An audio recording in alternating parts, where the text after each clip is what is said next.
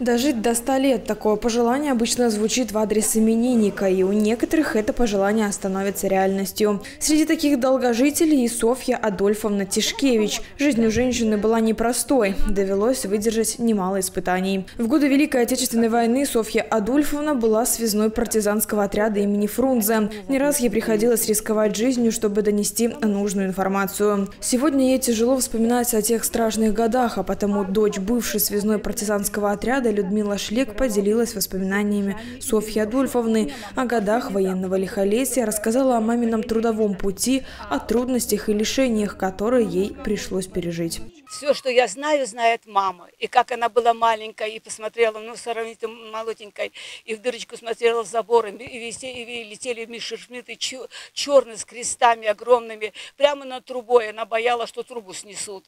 И, и видела, как э, эти немцы приходили, встречали их э, в этом настоле, в вихойниках, встречали караваями, когда стали казнить и убивать и детей, и жечь в сараях, все отвернулись, стали партизанами. И мама в силу этой ненависти к поработителям, э, к насильникам пришли, они говорят, мама говорит, с гармошками, в новых мундирах играли, галстучки, очки, все, все новенькие, как, э, как с-под машины. Ей было официально по паспорту 17, но папа сделал ее старше.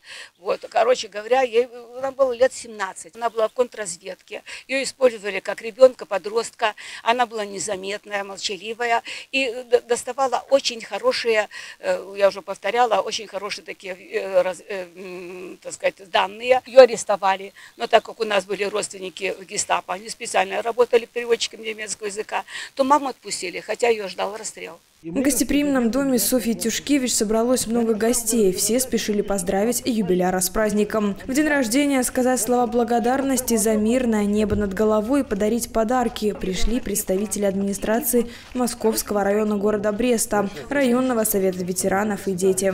Мы, пионеры средней 23-й школы, поздравляем вас с юбилеем. юбилеем. Мы хотим пожелать вам счастья, счастья здоровья, всего самого лучшего.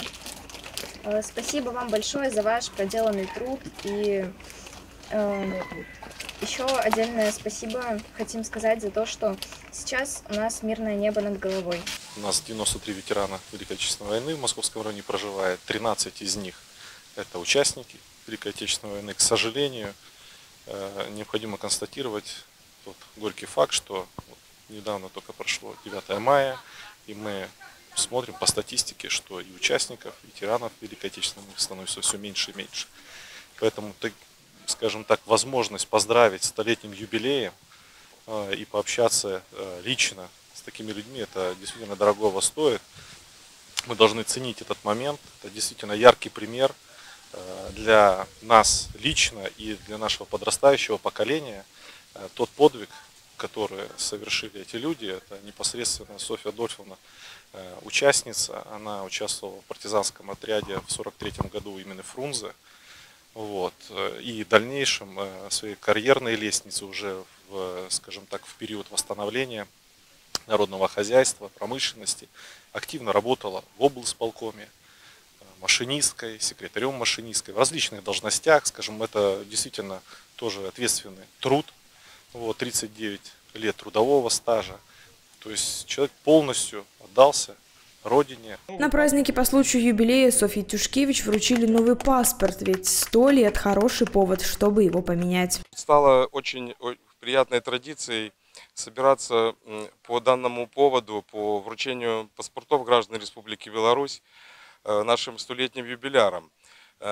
Значит, э, мы знаем всегда, что они сделали для нашего государства. Всегда очень приятно приходить к ним, домой, поздравлять по данному поводу. На территории Московского района в данный момент э, проживает 11 таких граждан, поэтому мы также всех еще их поздравим по поводу э, вручения паспорта гражданина Республики Беларусь. И всегда рады видеть их, всегда улыбающимся, когда они действительно довольны, что мы приходим. Сто лет – это не просто долгий жизненный путь, это еще огромная мудрость и опыт. Ты невероятная, как демонстрирует сама Софья Адульфовна, бодрость духа, которую она не теряет и сегодня. Льется музыка, музыка, музыка, от которой мне хочется жить.